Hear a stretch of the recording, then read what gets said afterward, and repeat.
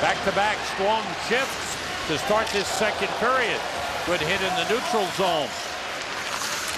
Looks like Girardi stepped up by Lundqvist. Again, the good hit by Girardi, just stepping up in the neutral zone. Again, this is one of the staples of this Ranger team. Hitting, forechecking, blocking shots. And they seem to be a little bit more attuned to that here to start the second period.